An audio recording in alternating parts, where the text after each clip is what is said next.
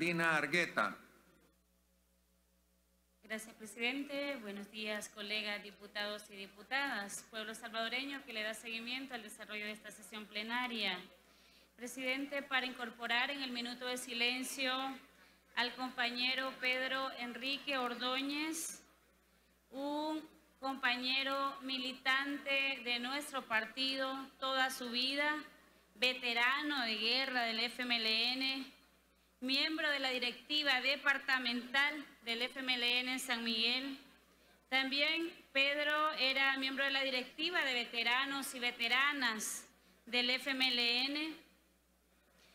Pedro también fue el responsable del programa Misión Milagro en el departamento de San Miguel, que le devolvió la vida a más de 3.000 personas en este departamento una, una pérdida que nos duele a toda la militancia y, a todo el departamento de San Miguel, quien lamentablemente eh, sufrió un accidente el pasado domingo y ahora ya descansa. Vaya nuestro saludo y nuestro eh, sentido pésame para toda su familia, sus hijos, su esposa, su esposa y toda la militancia de nuestro partido en el departamento de San Miguel.